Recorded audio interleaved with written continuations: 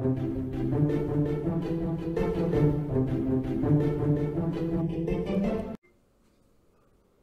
Clever Pickles, welcome back to handwriting lessons. Today we are going to be using the letter P for our practice. We're going to start with the date at the top line. Before we start though, I'd like you to check that your pencil is uh, nicely sharpened. This will work, however, this is what I'm choosing to use because it has been sharpened a bit better.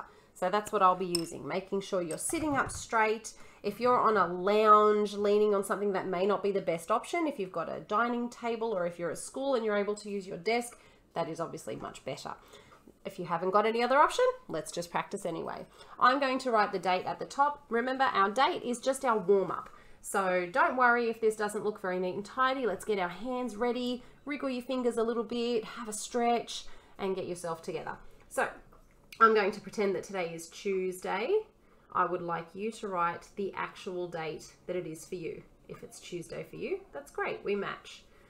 Now you might need to check with a parent or someone around you what today's actual date is. I'm going to pretend today is Tuesday, the 10th, and I'm going to just pick a random one, which is, I'm going to pretend it's August. It's nowhere near August as I make this video and I have no idea if the 10th of August is actually a Tuesday because I'm just making this up. This is my warm-up.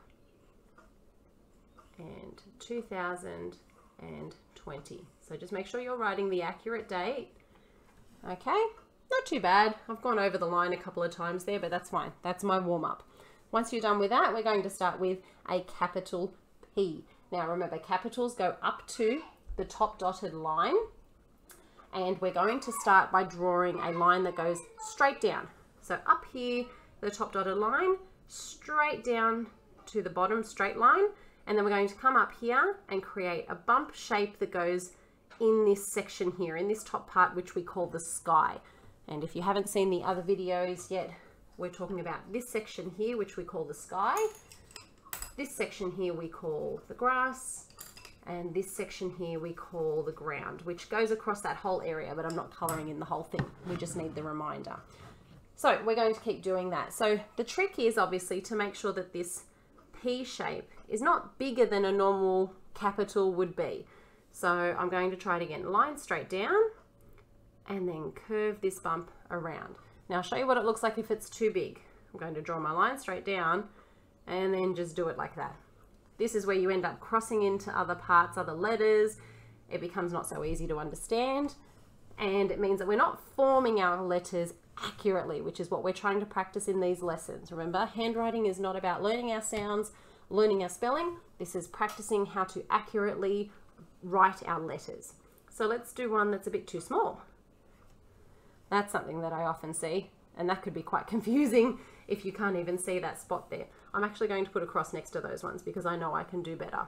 Now I've done one, two, three, four, and we only need to do six, which means I need to do two more, and I'm going to do my best on these last two.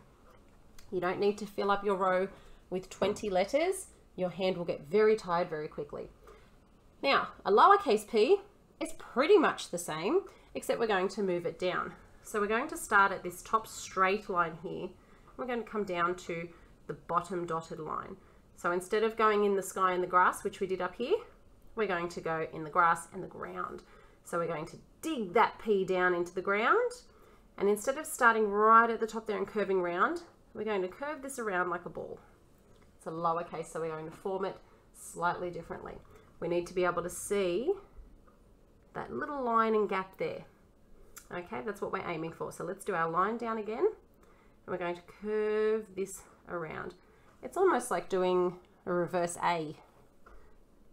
Straight line down and curve it around. It's the same sort of shape that your hand makes when you write a B, except the line is in a different spot. And you can see I went a little bit too long down there, so I'm going to try and fix that on my next one. Line straight down, curve around. Beautiful, I've done five, so now I only need one more line straight down, curve around. Now if I'm going too fast for you, just pause the video and catch up. And if you want to go over anything, just skip the video back and rewatch that section. we're going to put the letter P at the beginning of three words now. And our first one is plant. I actually have a number of plants in my house at the moment where I'm videoing this. Plant. And this is good because we have curves going to the right, curves going to the left, letters going up to the top and across there. There's lots for you to remember in plant. Our next word is pen. Once some of you guys are showing that you are neat enough in your handwriting and across your books, you might get a pen license.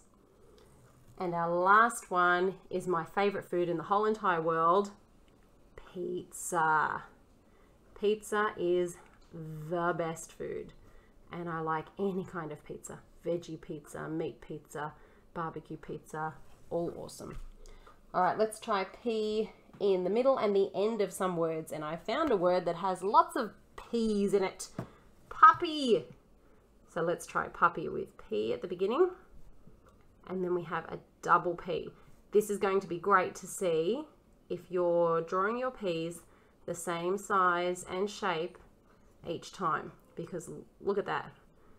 One, two, three chances there to show that you can do it accurately. Our next one is sheep. And, oh, that was not my best S, but that's okay. I'm focusing on the P. Sheep. And our next one is stop. So focusing on these letters and then remembering at the end to keep my P neat and tidy. Excellent. Okay, our next line is going to be our fun line, which is where we use the letter P to draw something.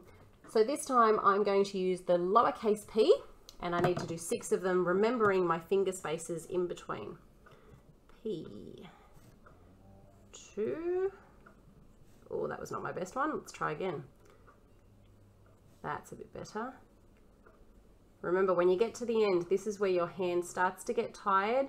So shake your hand out, put your pencil down, wriggle your fingers, pick it up and try again if you need to. Okay, today I'm going to switch to my yellow colour and I'm going to get a red as well to draw this because I'm going to draw a box of popcorn. So I'm going to go over my P like this on all of them this is going to be my popcorn box that I've created here. I'm going to keep my red pencil nearby. I'm going to draw a bunch of popcorn which starts with my P. You might make it a bigger box of popcorn if you like. I'm going to pick up my red one again and just draw some lines on it to make it look like a popcorn box. quick and easy. Our drawing part doesn't need to take a very long time. And there's my popcorn. I hope you had fun, guys. See you in the next lesson.